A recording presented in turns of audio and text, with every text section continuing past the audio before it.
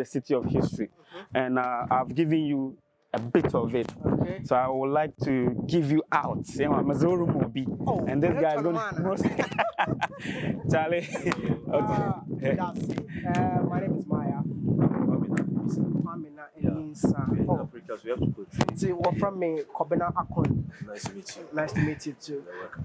Okay, so um, we have a lot of people out there who really want to know the history about Elmina Castle, and he's telling me that guy that I need to meet. So, so over to you. Wayne. Yeah. Uh, we are in Elmina Castle. Yeah.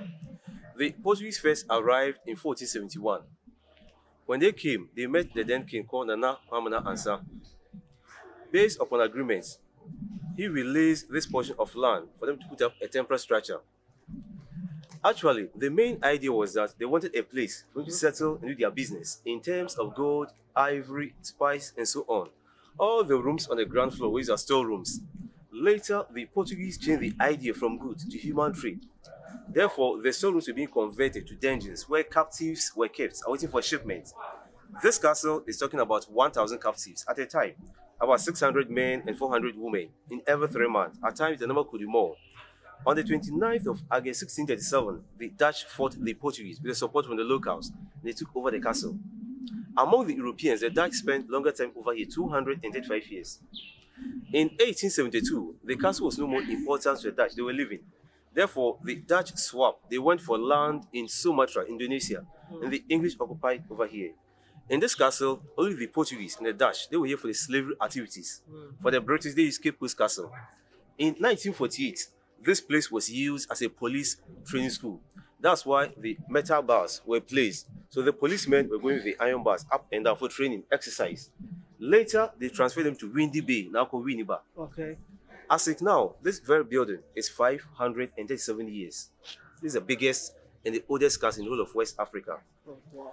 That doesn't mean that Elmina uh, is the original name of this town. No. The frequent supply of gold the Portuguese were getting from here, they call this place the mines. El Mina, El Mina, Elmina. Wow. At times you hear Edna, Edna as a local name. Cape Coast. Uh, it's not also the name of this town. Okay. Uh, the right word is Al-Dia. In Arabic, it means harbor or port. Al-Dia, village. But the locals corrupted the way to Edina, Edina, Edina. The original name of this place is Ano Mansa. Ano Mansa, which means inexhaustible water.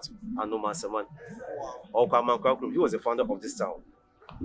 And as you can see, there are two rooms over there. With the exception of those two rooms, about 600 men were spread out. They were kept in various rooms on the ground floor. The one with the skull, the crossbones, that's a condemned cell. Very terrible. Condemned cell. Yeah. The difficult male captives, those who tried to escape, like the freedom fighters, they were kept in, they were starved to death. No food, no water, till they died. None of them went in and came back alive. That's why you have the symbol here. It's original symbol by the Dutch. These are just peepholes. They will look through to see whether those inside they are dead or not. And then when you are dead, They will just remove the dead body, they will tie them to stones, they will throw them to the sea for them to sink and go down. Yeah. The other one with the metal gates was for the soldiers who misbehaved. At one point, soldiers, I mean their own soldiers. their own soldiers. What happened was that at one point, one of the Dutch governors, Governor Hogenboom, was murdered in the town by the locals.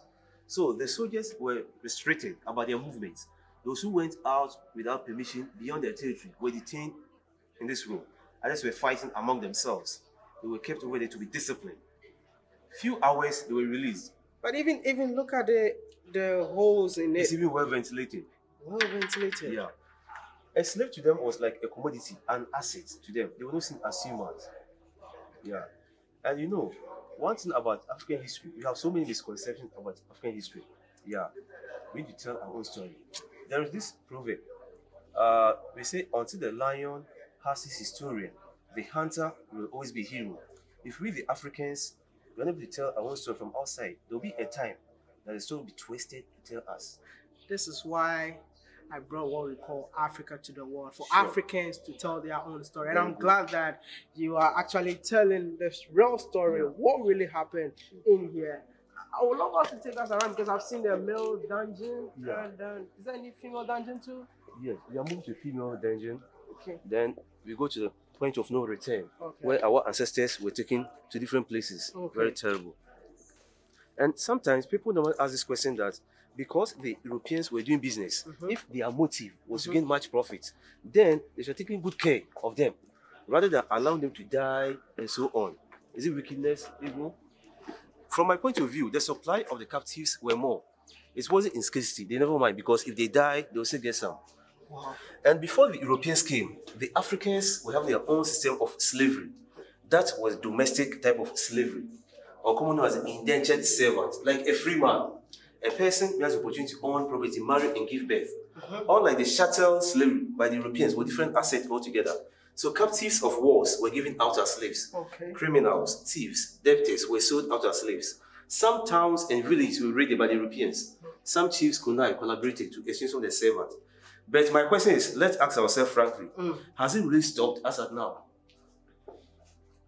You think um, slavery is still going on? It's still going on a different dimension. For me, I, I think the slavery that is going on is like a worker, someone works Yeah. the entire day and you give him a hundred dollar Yeah. a month. That's slavery too.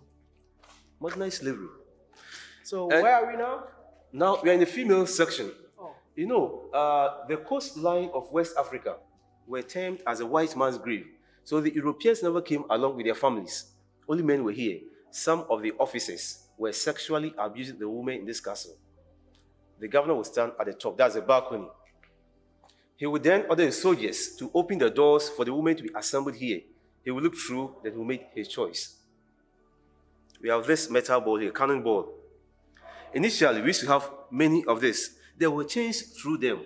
The women who were difficult, those who were resistant to be raped by the soldiers, they chains within the cannonballs will be tied around their legs. No food, no water. Whether raining or shining, they'll be here. Till the time they'll give up. They did that just to put fear in them, to breaking down their spirits.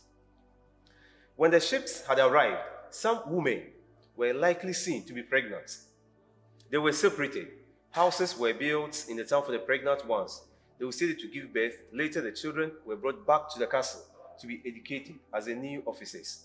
Their mothers remained here as cooks to the castle, domestic working to the castle.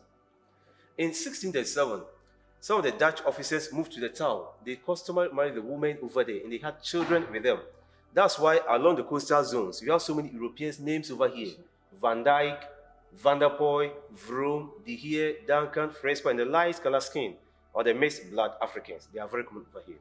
Don't forget, it brought about disunity among the Africans and the Africans themselves. People were looking down upon their fellow Africans, divide, conquer, and rule. There was a program held in this room. Last four years, people volunteered to sleep in this room for one night. They just to experience how our ancestors went through reenactment of the slave. They volunteered online. Some from US, UK, Nigeria, they were all blacks. Yeah. And because the captives were half naked, those who slept here for the program used distance to cover themselves to demonstrate with the chains around their house. Yeah. but I don't think even those chains that they used to tie them looks like this. No, no, big, bigger ones. These are just small, small. Yeah. It's so sad. I think I don't think I Eh, can. Over here too, about 130 women were kept here.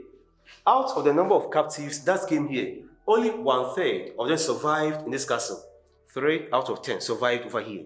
Children were not counted as a person. They were just added to an adult and sold as one person.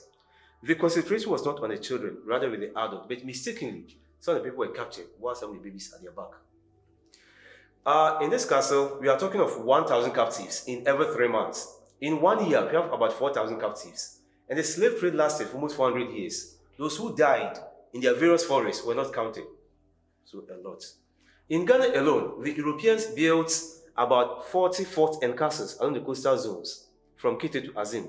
There is a similar one in Senegal, the Gorée Island. I was there. Yeah, Zanzibar in I there. Tanzania. Yeah. Vidal Fort in Benin. I've never been there. Two in Nigeria, Badagry in Calabar State. Fort Mm. Jesus in Kenya. We had a lot. Been to Yeah. the Fort Jesus in Kenya Yeah. too. Wow. Looking at the thickness of the wall, the size of the wall, there's no way you can escape. Escape, None of the captives escaped over here. None of them So escaped. all this place was dungeon. I've seen another extra Yes. one. We are moving through the, some of the dangers, especially the largest dungeon for the female captives. There is a strong stench in that room. Yeah. Uh, we could have used chemicals to clean that place. But don't forget this history. We have to maintain the originality of this place. That's why we have the stench here. About 150 women were kept here for one month, two months, or three months. They are stay in their various rooms depends on the arrival of the ships, how often the ships will come. Buckets were placed at various corners where they were expected for them to ease themselves in those buckets. Not all the captives were from Ghana. The mode of transportation as at that time was by foot. Those who made it here were very weak. During their second month of staying in their various rooms, some of them could not walk from the middle of the dungeon to where the buckets were placed. Therefore, they did everything on the floor feces, urine, vomiting, blood, and they slept in it. There were no mats for them. That's the original floor they slept on.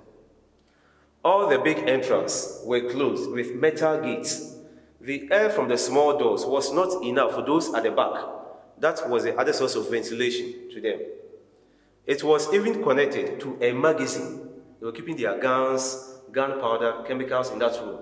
If there is a leakage over there accidental, the scent will just move straight here, polluted the air, and kill them. The dead ones, as I said, were tied to stones and thrown into the sea. All the flowers at the back by our brothers and sisters from the diaspora in the memory of those who died over here. We are now moving to the point of no return. It's very terrible.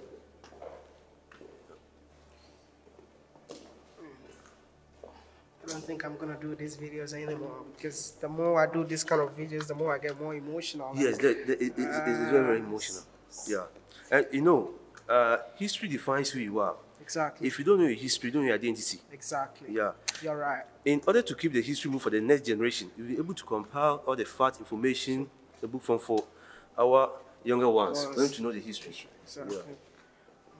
Because some of the uh, literature books that we read are from the side of the Europeans. Yes, yeah. We So need to write need to also. write our own story. Yes. When the ships had arrived, the strong women, those who survived through all that brutalities, they made to pass here to the point of no return. Pass here. Yes. There were steps over there. The room is very dark. That's the nature of the room. It's very dark. So once the male captives were using the main entrance, the women also passed through the side. You can just imagine somebody being kidnapped, captured from the hinterlands for the first time or seeing the ocean. The reaction that the person put on. Yeah, they were just struggling with them. Many of them died out of that. So we are moving through the male dungeon, then to the point of no return. For the building aspect, it's in its original state. That's the original state. Yeah. All the architectural design that you are seeing is much of the. Dutch. That's the male slave dungeon. We just came from the female side. We are now moving through the male dungeon. In this particular room, about 150 to 200 men were kept over here. At the same time, a transit passage to the point of no return. The room at the back was just a storeroom for the branding equipment. Most of the captives were branded. Hot metals with the metal names, initials, we place here on their forehead or at their back for identification. Many of them died after metal. Yeah. Hot metal, like tattoo. Yeah. Slave exit to waiting boats. One thing that people normally ask is, uh, you know, the initial idea of putting out this structure was for gold, ivory, spice, on, to good. That was what they informed the chief. Yeah. Quickly, they changed to human trade. So who knows that the initial idea could be the camouflage? Exactly. You So see. they lied Sure. and they still lied. Yet we are still entertaining them. And due to the emotional aspect of the tour, at times we don't blend the tour with the white to avoid any embarrassment, any confusion. So it do happen. Yeah, because sometimes it's very, very emotional, especially to our brothers Yeah. in diaspora. Yeah.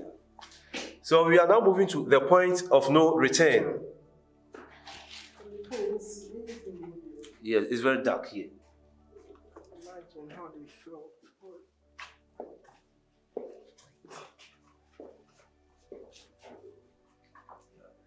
We are now in the room of no return. This is a gate of no return.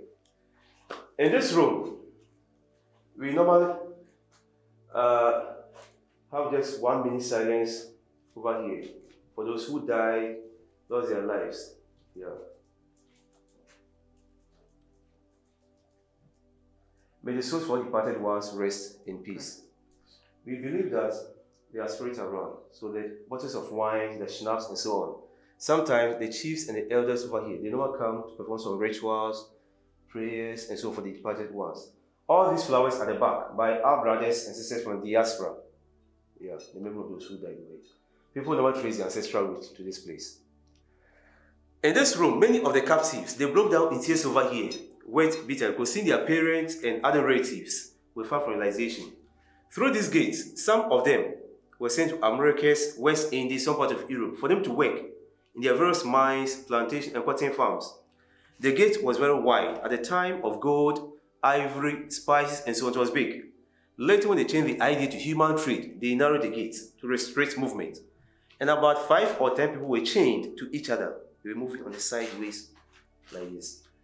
The seawater was closer by then. Now it has receded. The ships will be at the shore before they will bring smaller boats to convey the captives into. Looking at the small size of the gate, by the time they will be here for one, two, or three months, they will just lose weight. They can easily pass through. Yeah. Even though they were fed, something small sustain them. Yeah. This is sad. Like this is the gate. No return. Like Yes.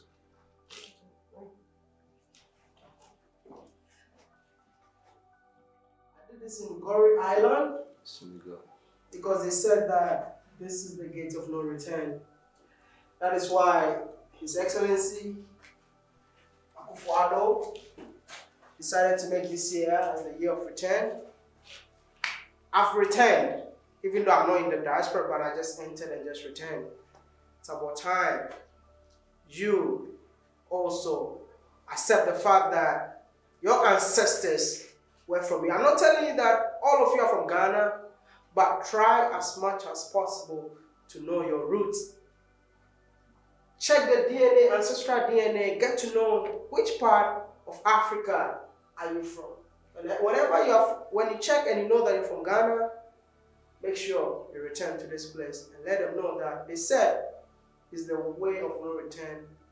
But when you return, your ancestors will be happy that finally their great great grandson or their great great granddaughter finally returned to them. So, boy, Mr. Ghana, baby, and uh, I think I'm not gonna do more of this episode because anytime I do this episode, I get sad, emotional, and then I get back home. I have to struggle to get my book back again.